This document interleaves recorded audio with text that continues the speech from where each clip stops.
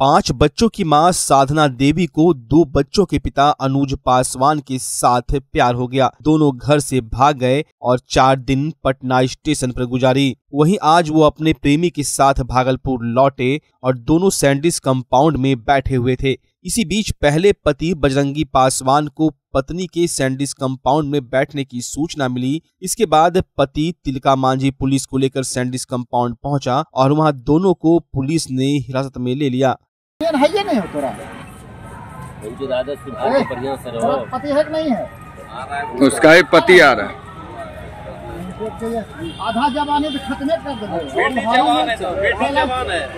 तो ये दोनों घर के रहेगा? ए, चलो चल बैठ। चल बैठ। सांग ले कर ऊपर नहीं कहाँ से? बुलावा ना बुला। ओकरो पर नहीं है। हाँ तब हाँ। बढ़िया आदमी होकर के एकरा पीट नहीं सकते हैं।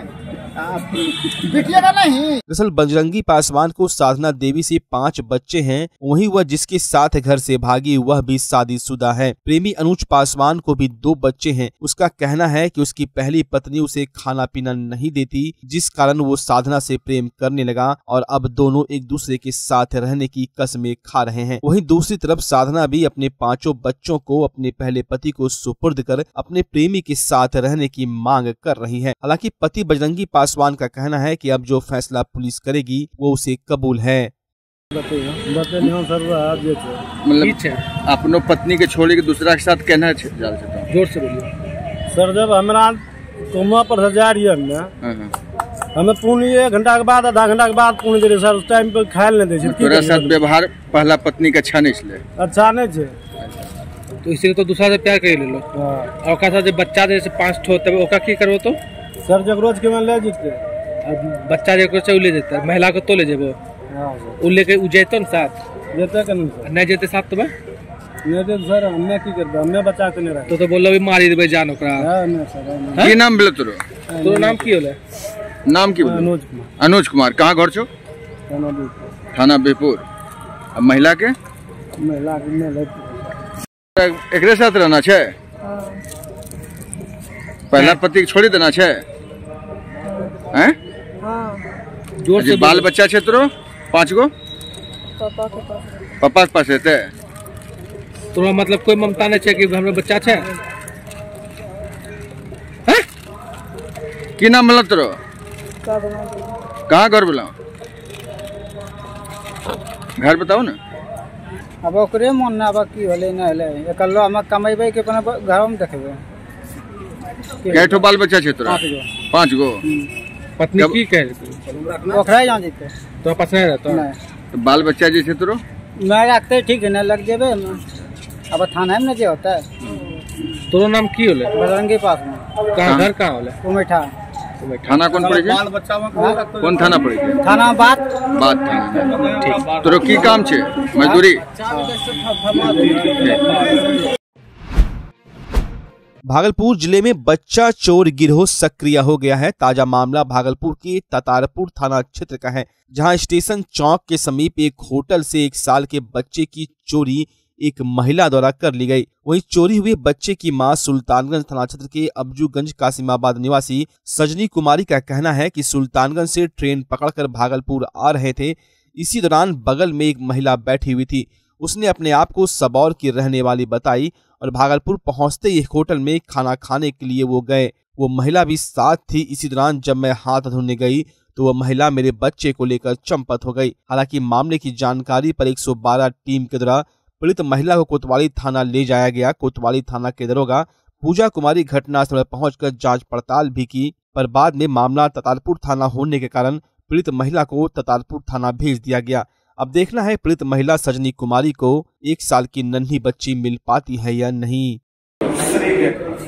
तोरो की नाम की नाम? सजनी कुमारी। सजनी कुमारी। कहाँ घर कसमाबाद कौन थाना? थाना कौन पड़े छै? थाना थाना नहीं पता छै? कौन जिला? भागलपुर जिला छै। कहाँ से बच्चा तोरो चोरी हो गया कहाँ स्टेशन से? हाँ होटल में खाना खाल थे हाँ। कै साल के बच्चा थे एक साल के एक के साल के बच्चा? हाँ। चले बोले छले हो ना। तब फिर वो कैसे गया हाँ, स्कूल से तो लोग भागी कोई लेके भाग हाँ। बच्चा के नाम छे पार्वती। लड़की छले? तोर पति के नाम छे निरंजन मंडल। ओम भास्कर विधानसभा संयोजक के भागलपुर भारतीय जनता पार्टी की ओर से भागलपुर बिहार और देशवासियों को दुर्गा पूजा की ढेर सारी शुभकामनाएँ। नमस्कार मैं डॉक्टर देवपाल सिंह अध्ययन जीवन सोसाइटी। आज सुबह को दुर्गा पूजा एवं विजयादशमी की हार्दिक शुभकामनाएँ देता हूँ। दुर्गा पूजा शक्ति की पूजा है। आपको माँ दुर्गा शक्ति दे देगी आप अपने जीवन के लक्ष्यों को प्राप्त कर सकें। साथ ही विजयादशमी का त्यौहार है जो हमें विजय गाथा सिखाती है। असत्य पर सत्य की जीत, बुराइयों पर अच्छाई की जीत हमें बताती है। खास करके आज सनातन विरोधी विचारधाराएँ जागृत हो रही है। इस पर आपको नज़र रखनी होगी। छोटे छोटे स्वार्थ के लिए आप अपने धर्म का बनी नहीं रहे इसके साथ ही एक और निवेदन है कि आप माँ दुर्गा का पूजा कर रहे हैं। आपको सफलता दे, लेकिन घर में भी माँ है, पिता है, सभी लोग उनका भी ध्यान रखें। और बुढ़ापे में सिर्फ़ आप ही उनके सहारा हैं जिन्होंने अगली पकड़ कर आपको यहाँ तक लाया है। उनका क्या धन्यवाद। राजकुमार रंजन पहल ग्रुप की ओर से भागलपुर बिहार और देशवासियों को दुर्गा पूजा की ढेर सारी शुभकामनाएँ। नमस्कार मैं प्रिया सोनी माँ आनंदी संस्था की संस्थापिका। संस्था के सभी सदस्यों की ओर से शहरवासियों के साथ साथ समस्त देशवासियों को नवरात्रि की ढेर सारी हार्दिक बधाई एवं शुभकामना। मातृशक्ति की आराधना के लिए वर्ष में नौ दिन विशेष रूप से दिया गया है। और यह नारी शक्ति के आदर और सम्मान का प्रतीक है और हमें यह एहसास दिलाता है कि नारी शक्ति को किस रूप से पूजा जाता है। साथ ही साथ समाज के अन्य पूर्वधाओं को भी उनकी शक्ति का एहसास दिलाता है।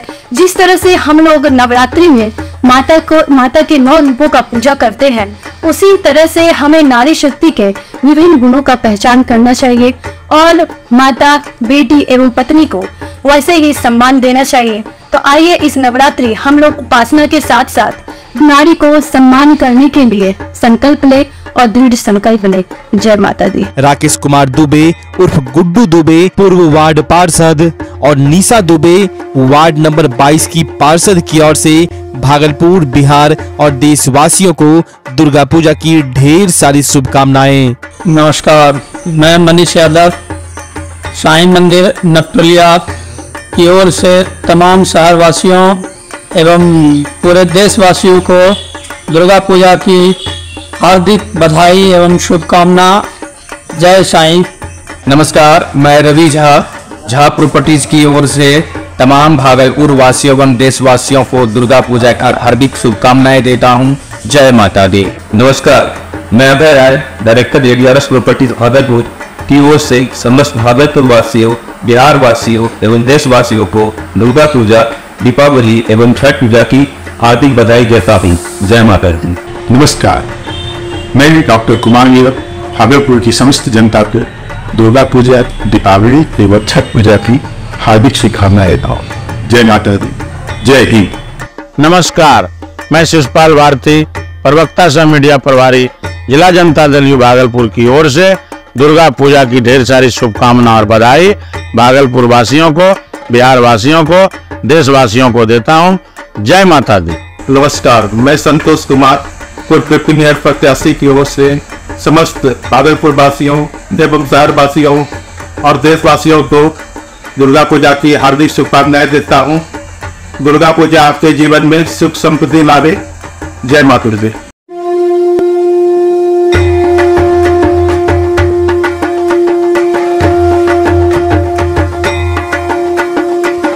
बच्चा जब जन्म लेता है तो कई बार बच्चा तुरंत नहीं रोता है, रोने में देर हो जाता है। ऐसे में बच्चा क्षतिग्रस्त हो जाता है और उसके बचने की संभावना कम हो जाती है। और यदि बचा तो भविष्य में उसमें विकलांगता की समस्या आती है, जिसे सीपी कहते हैं, जिसका कोई माकूल इलाज नहीं है और ज़िंदगी भर बच्चा विकलांगता से जूझ सकता है। ऐसे में पूरे संसार में कूलिंग थेरेपी का सहारा लिया जाता है। जन्म से ठीक छः घंटा के अंदर यदि उसको कूलिंग थेरेपी दिया जाए तो उससे उसका सीपी की समस्या कम होती है और बचने की भी संभावना बढ़ती है। पहली बार बिहार झारखंड में आपके शहर के स्नेह नवजात शिशु बाल सेवा केंद्र में यह मशीन उपलब्ध है। कभी भी ऐसी बात हो कि बच्चा रोने में विलम्ब हो गया तो आप स्नेह नवजात शिशु बाल सेवा केंद्र में ज़रूर संपर्क करें।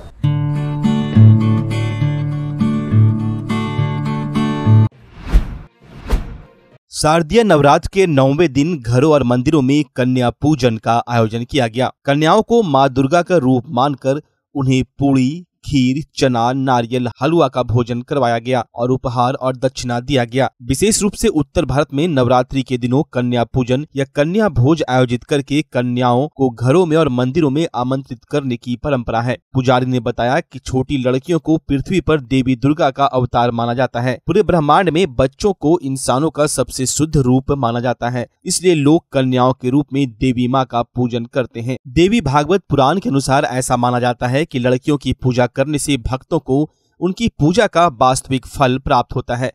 विशेष रूप से नौ दिनों तक व्रत रखने वालों को नवरात्रि के अंत में कन्याओं की पूजा अवश्य करनी चाहिए। कन्या पूजन परंपरागत रूप से भक्तों द्वारा अष्टमी या नवमी के दिन किया जाता है। छोटी लड़कियाँ जिन्हें विशेष रूप से आमंत्रित किया जाता है, फिर उसके बाद माँ दुर्गा का रूप मानकर पूजन किया जाता है। घर पर आमंत्रित छोटी बच्चियों को पैर धुलाकर और पैरों को रंग कर आसन बिछा कर बैठाया जाता है। आसन पर बैठी नौ कन्याओं को खीर, पूड़ी, हलवा, चना इत्यादि परोसा जाता है और भोजन ग्रहण करने के बाद उन्हें दक्षिणा देकर विदा किया जाता है।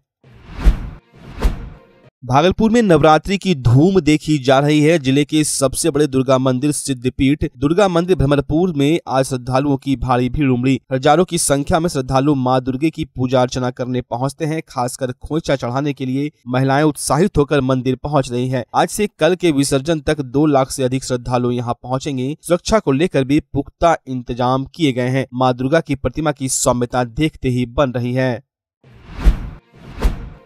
बिहार पुलिस मुख्यालय द्वारा कई लोगों को प्रोन्नत किया गया है। इसी बाबत भागलपुर की कोतवाली थाना में पदस्थापित जय राम पाल, विद्या सिंह और अभिमन्यु पाल को एएसआई से एसआई में प्रोन्नत कर सिटी डीएसपी अजय कुमार चौधरी, कोतवाली इंस्पेक्टर देव आनंद इंस्पेक्टर कृष्णा सहित थाने के पदाधिकारियों के सामने सिटी डीएसपी अजय कुमार चौधरी ने स्टार का बैच लगाकर शुभकामनाएँ दी। वहीं सिटी डीएसपी अजय कुमार चौधरी ने कहा कि ऐसे लोग जिन्हें मुख्यालय के द्वारा प्रोन्नति मिली है, उनके कार्यभार भी पद के हिसाब से बढ़ते चले गए हैं। उम्मीद है वो अपने कार्य में कुशलता दिखाएँगे और पुलिस विभाग को मजबूती प्रदान करेंगे। कार्यक्रम के दौरान जयराम पाल, विद्या सिंह, अभिमन्यु पाल, प्रमोशन मिलने के बाद काफ़ी खुश दिखे। पुलिस मुख्यालय द्वारा कार्यकारी प्रभार का जो प्रावधान किया गया है, उसी प्रावधान के तहत, उसी क्रम में एस आई जयराम पाल विद्या सिंह, अभिमन्यु पासवान, जो कोतवाली थाना में पदस्थापित है, इनको एएसआई से एसआई में प्रतिनियुक्ति मिली, ये पदोन्नति मिली है। तो आज उनको जो एक प्रक्रिया है, जो सेरेमोनियल तौर पे उनका जो स्टार है, वो उनको बढ़ोतरी होती है उनके स्टार में। आज वो सेरेमोनियल कार्यक्रम रखा गया था। उसी में मेरे द्वारा इंस्पेक्टर के द्वारा कोतवाली थान, थाना और मेरे ऑफ़िस के ही प्रांगण में ये कार्यक्रम रखा गया और उन लोग को इनसे सम्मानित किया गया है। और जनता से मेरा यही अपील है कि वो इस पूरे त्यौहार में